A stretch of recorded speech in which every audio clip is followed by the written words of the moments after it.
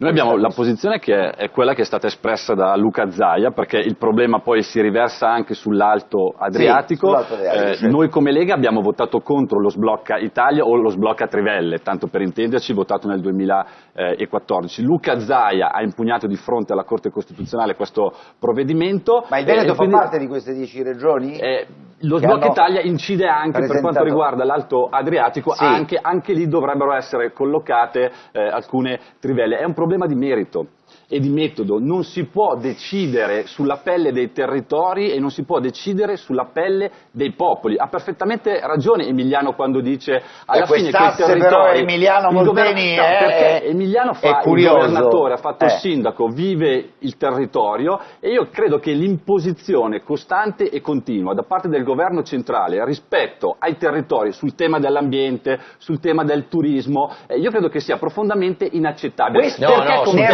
no, Molteni, no, sul turismo no. Questo nel rapporto, sì, ma eh, continuiamo a promuovere le singole regioni. Io credo che bisogna, io rispetto credo, però alla questione, io credo cioè che bisogna, ad avere fonti, maggiori fonti energetiche. Bisogna trovare, io credo che bisogna trovare fonti alternative e non è certamente questa la soluzione. Perfetto. Dopodiché eh. il problema però giustamente è stato anche toccato perché molte di queste trivelle verranno collocate sul confine territoriale tra Italia e Croazia, serve anche una presa di posizione forte sì. del nostro governo non nei confronti dei territori ma nei confronti del sistema europeo il quale deve ovvia ovviamente pianificare in modo diverso quanto sta accadendo. Perché dico questo scusi? Perché la riforma costituzionale, e insisto, va esattamente nella direzione opposta. Il turismo o le politiche attive sul lavoro non possono essere materia di competenza esclusiva dello Stato, ma senza invece... tenere in considerazione le sensibilità di territori diversi.